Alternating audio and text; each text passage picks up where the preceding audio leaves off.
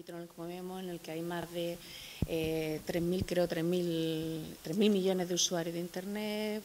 casi 4.000 de móviles, usuarios de móvil y de redes sociales. Por lo tanto, yo creo que bueno, es, no es eh, necesario, que es fundamental eh, eh, conocer todas las herramientas puestas en las manos de, nuestros empresarios para hacer de los destinos, para hacer de la empresa de la provincia de Jaén mucho más, posicionarla en el mercado turístico y atraer el mayor número de turistas potenciales a nuestros destinos.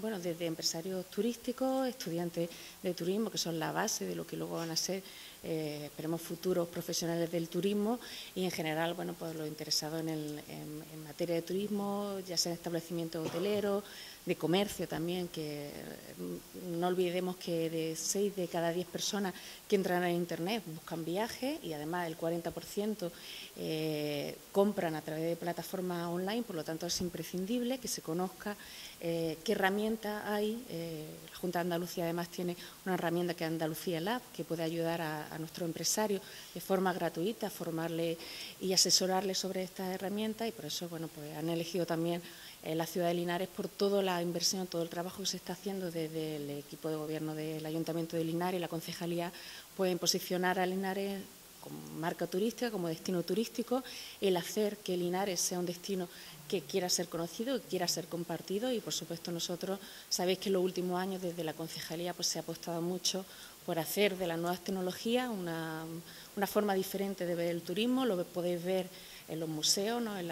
cómo se ha innovado en la museografía con técnica de realidad aumentada,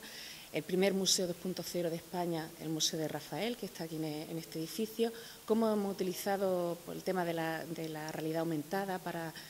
enseñar Cástulo, para hacer eh, internacionalmente conocido Cástulo y cómo bueno, todas las herramientas de la propia concejalía, tanto las redes que tenemos de, de Facebook, Twitter, tenemos nuestro propio canal de YouTube,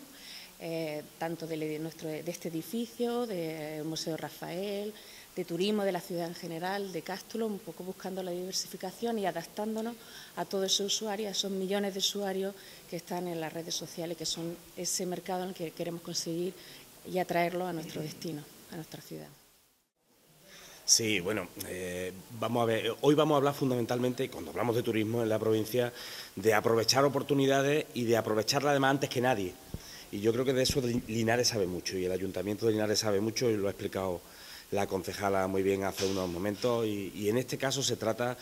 pues de acceder precisamente a, los instrumentos y a las estrategias que nos llegan con las nuevas tecnologías también eh, antes que mucho en este mercado turístico tremendamente cambiante. Y, eh, y si además lo hacemos con una alianza estratégica entre las administraciones, entre el Ayuntamiento, la Diputación Provincial, la Junta de Andalucía y el sector del turismo, yo estoy convencido de que vamos a dar paso y vamos a avanzar posiblemente más rápido, más rápido que otros.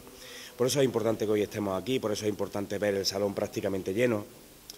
Y además, eh, que no se nos olvide algo, ¿no? que estamos respondiendo a una petición de los propios empresarios. Este es el resultado